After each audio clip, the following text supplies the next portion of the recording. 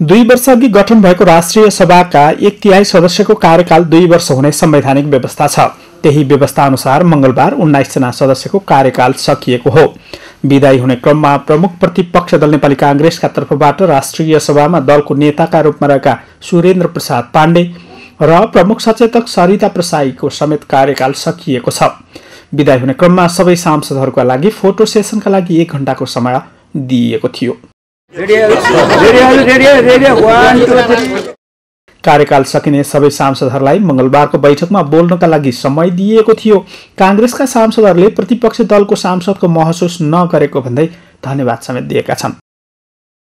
एक पटक एउटा क्लस्टर। हामीले त्यसलाई हाम्रो रचनात्मकताले छोप्नुपर्छ हाम्रो सभाको सृजनशीलताले छोप्नुपर्छ मतदाताका बीचमा जाने प्रदेश सभाका सदस्यहरू स्थानीय तहका प्रमुख र उपप्रमुखहरूलाई कोही पुरै जित्दैन कोही पुरै हार्दैन।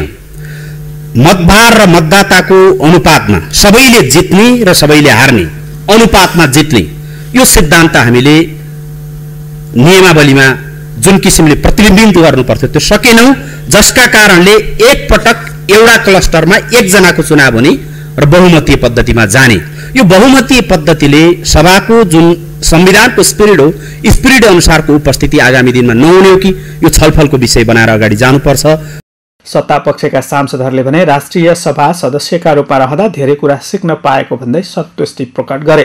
प्रतिपक्ष दलको नेता र प्रमुख सचेतक दुवैको विदाई गर्न परेको भन्दै दुखित समेत भएको सत्तारूढ दल नेकपाका सांसदहरूले बताएका छन्।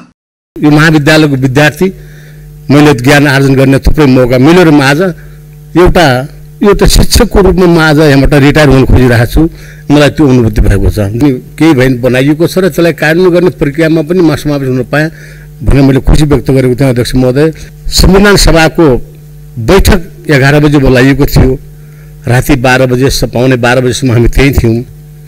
एकैचोटि मर्यादा पालक साथीहरू आउनुभयो र मान्यज्यू तपाईँहरूको म्याच सिद्धियो भनेपछि राति बाह्र बजी हामी चोर जिन्स गरेर भाग्नु परेको थियो।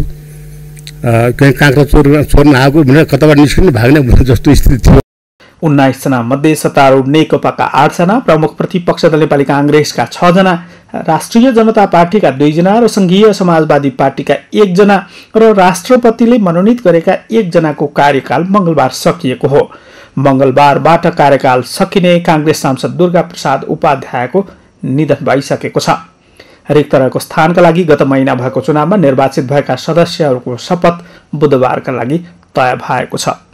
सगरमाथा टेलिभिजनका लागि क्यामरामा केशव तिमिल सेनाका साथमा अमृत राज काफले काठमाडौँ।